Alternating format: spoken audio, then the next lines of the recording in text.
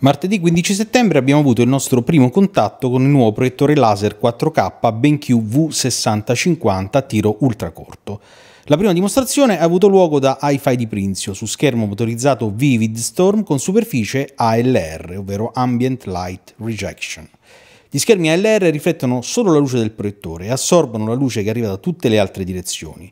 È l'unione di un proiettore UST con uno schermo ALR specifico a fare la differenza. Il massimo delle prestazioni si raggiunge però sempre al buio. Con luce accesa però l'effetto è dannatamente simile a quello di un gigantesco TV. Ecco perché li chiamano spesso laser TV. Nel pomeriggio ci siamo teletrasportati a Roma da Gruppo Garman, dove abbiamo assistito ad un improbabile confronto tra BenQ, Optoma ed Epson, tutti proiettori laser TV 4K a tiro ultracorto. I proiettori sono stati messi fianco a fianco a turno, sempre davanti all'ottimo schermo Vivid Storm con superficie ALR.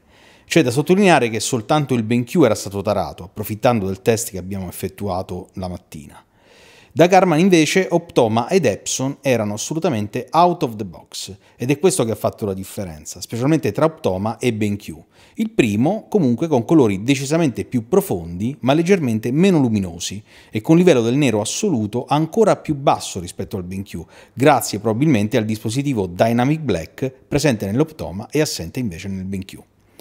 Se il BenQ tarato ha convinto di più, soprattutto per colorimetria e dettaglio, l'Epson è risultato quello più indietro, sia come rapporto di contrasto, ma anche come risoluzione e dettaglio, colpa sicuramente di una messa a fuoco che sugli angoli si è rivelata meno precisa, soprattutto rispetto al BenQ.